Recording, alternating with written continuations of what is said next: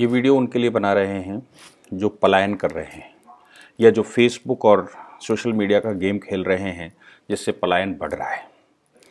याद करिए 23 जून 2018 को थाईलैंड की एक केव, एक गुफा में 12 बच्चे जिनकी आयु 11 वर्ष से लेकर और 16 वर्ष की थी और उनका जो सबसे बड़ा जो कोच था, उसकी आयु 24 वर्ष की थी। वो उस केव में घुस गए और घुसने के बाद वहाँ पानी आ गया और पानी आने के बाद आपको पता है कि वो कितने दिन वहाँ फंसे रहे? भूख, प्यास के साथ कितने दिन फंसे रहे? वो फंसे रहे 23 जून सन 2018 से लेकर और 11 जुलाई 2018 तक। यानी कि लगभग 17 18 में 18 दिन। आपको मालूम है कि वो 11 वर्ष से लेकर और छोड़ 16 वर्ष तक के बच्चे जीवित क्यों रहे? कैसे रहे? क्योंकि उन्होंने धैर्य का परिचय दिया, उनका जो सबसे बड़ा सीनियर जो कोच था, जिसकी आयु 24 वर्ष की थी, वो धैर्य बनाने में सफल रहा और 18 दिन तक लोगों को भूख प्यास के साथ उन बच्चों को जहाँ डेढ़ किलोमीटर अंदर, आपको अंदाज़ा भी है कि रोड से या रोशनी से डेढ़ किलोमीटर अंदर बच्चे फंस गए थे और उस डेढ़ किलोमीटर अंदर पानी भरा हुआ था, बच्चे कैसे जीवित रहे होंगे? धैर्य का परिचय दिया अदरवाइज़ वो मर जाते। संपर्क हो चुका था, रोशनी नहीं थी। जब पहली बार टॉर्च मारा गया तो उस समय बच्चों को दिख नहीं रहा था। बच्चे कैसे रहे होंगे, उनके माँ बाप कैसे रहे होंगे और पूरा विश्व उनको बचाने पर ताकत लगा रहा था।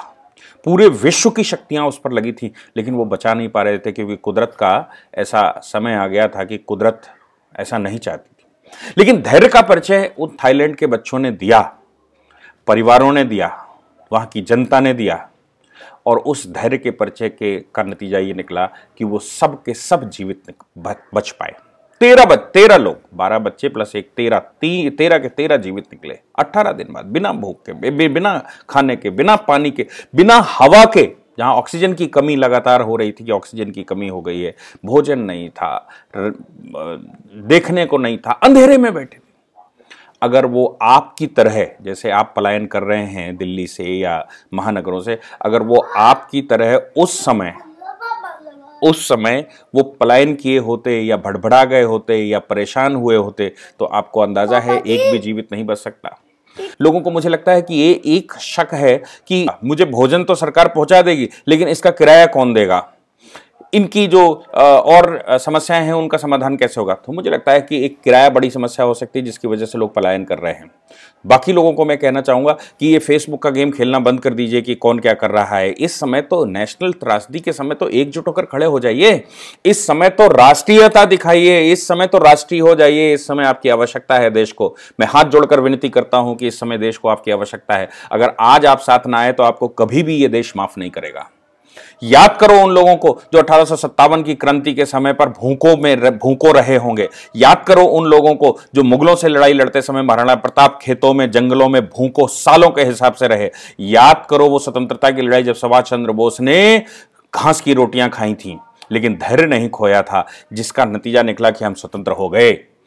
मैं याद करवाना चाहता हूँ कि हमारे पूर्वजों ने जो हमको दिया नवरात्रे का व्रत, लौंग खुटक कर पानी पीकर, क्या आप आज धैर्य का परिचय नहीं दे सकते? एक व्रत नहीं रख सकते पंद्रह दिन का? अगर भोजन की कमी है तो कम खाइए। सरकारी व्यवस्थाएँ कर रही है, लेकिन इतना बड़ा देश है, इतनी बड़ी आबादी है, इसको व्यवस्थाएँ करने में थोड़ा टाइम लगेगा।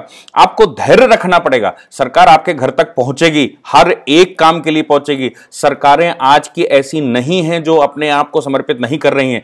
चाहे वो दिल्ली की सरकार हो, उत्तर प्रदेश की सरकार हो, बिहार की सरकार हो, सरकारें सब एकजुट दिखाई दे रही हैं, कुछ पॉलिटिशियंस को छोड़कर।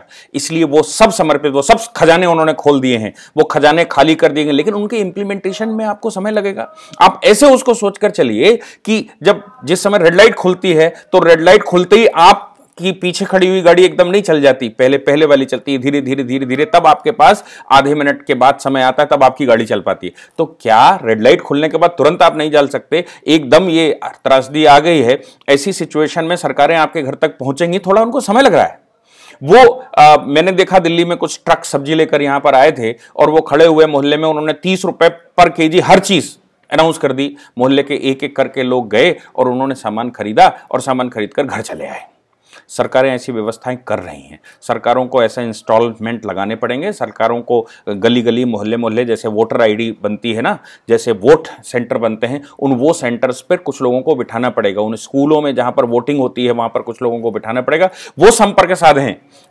पॉलिटिकल पार्टियों के एजेंट संपर्क साधें और उनके बीच में कम्युनिकेशन बनाएँगे मोहल्ले में कौन परेशान है, किसको भोजन की आवश्यकता है। तो भोजन की व्यवस्था तो सरकार कर देगी, दिल्ली में वैसे ही बिजली पानी फ्री है तो फ्री में आप रहिए, लेकिन किराए के लिए दिल्ली सरकार को घोषणा करनी चाहिए कि मैं किराया पूर्ण रूप से वैन लगा रहा हूँ, दिल्ली में कोई किसी से किराया नहीं ले सकता जब तक ये त्रासदी चल रही है।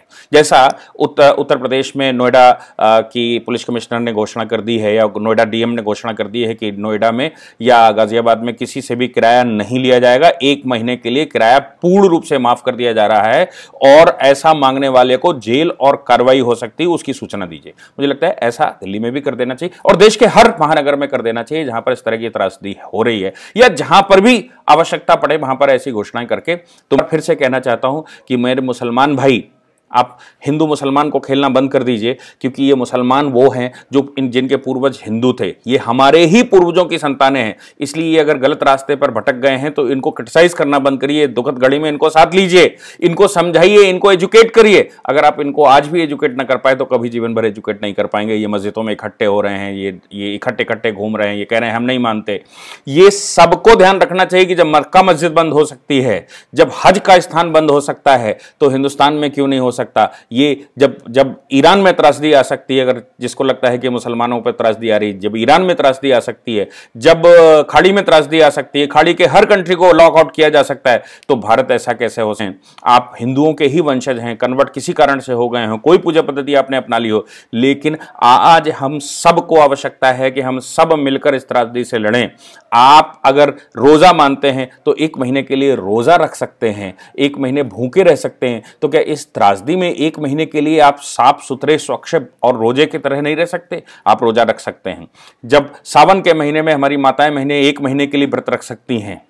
जब हमारे घरों में कोई त्रासदी हो जाती है तो तेरह तेरह दिन तक भोजन साफ़ सुथरा, सात्विक खाया जा सकता है, घर में सफ़ाई रखी जा सकती है, क्वारंटाइन रखा जा सकता है तो आज त्रासदी में क्यों नहीं रखा जा सकता? मैं आह्वान करता हूँ एक एक व्यक्ति से जो जो महानगर छोड़ के जा रहे हैं। आप देश को संकट में डाल रहे हैं, आप अपने बच्चों को संकट में डाल रहे हैं, खुद को भी संकट में डाल रहे हैं।